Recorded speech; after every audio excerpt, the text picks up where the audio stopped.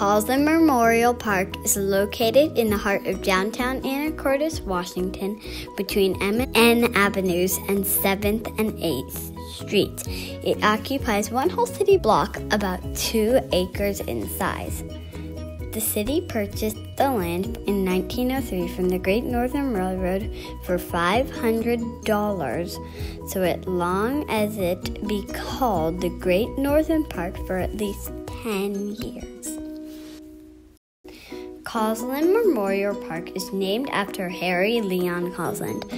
Mr. Causland was born on July 22, 1887, on his parents' farm on Guemes Island, just north of Fidalgo Island, where the park is located. Mr. Causland died in World War I, October 22, 1918, after only four months of service. Mr. Causland sacrificed his life by voluntarily bringing bullets to his friends when they needed them, even though he knew he was risking his own life.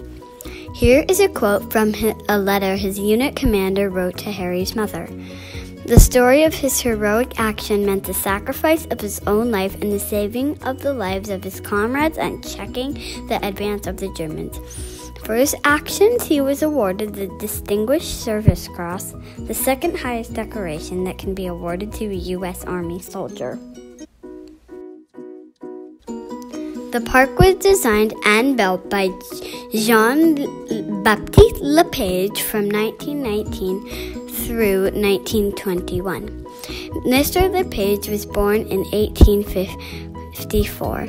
He was an artist and architect and applied for the job to design the park.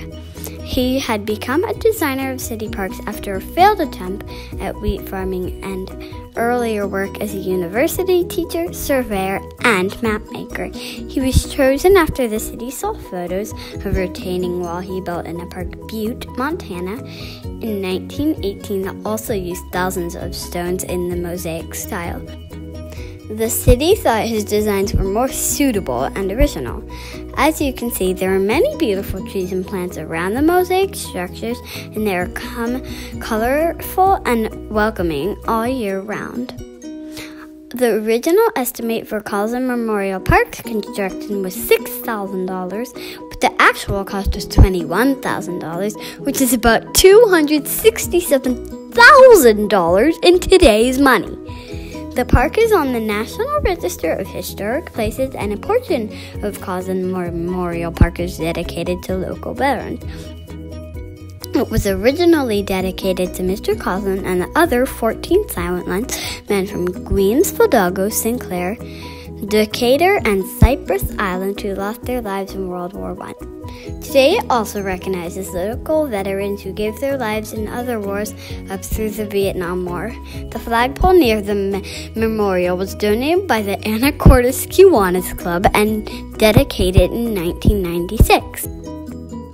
The park is unique in its use of decorative rock and black and white mosaic for structures and walls. Long, wavy, colorful walls surround the park, and a bandstand, amphitheater, and gardens are similarly made of colorful pebble and rock mosaic. All the mosaics on the buildings and walls have scenes or pictures in them, but no one knows what story they're telling.